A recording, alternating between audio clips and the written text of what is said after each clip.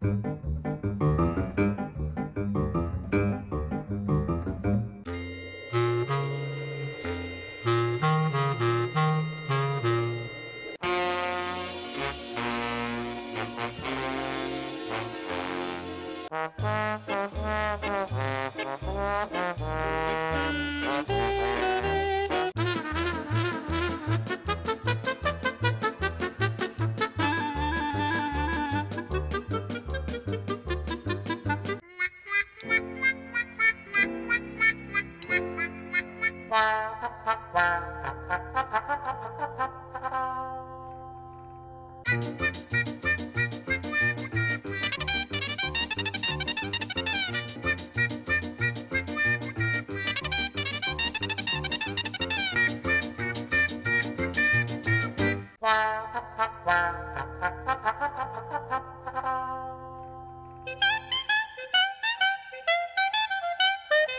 Cette viticulture existe depuis 10 ans en Champagne. Et depuis 10 ans, nous avons commencé par exercer les travaux euh, manuels de la taille euh, jusqu'au palissage.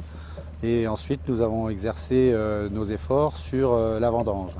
La vendange étant effectivement la partie la plus importante de l'entreprise.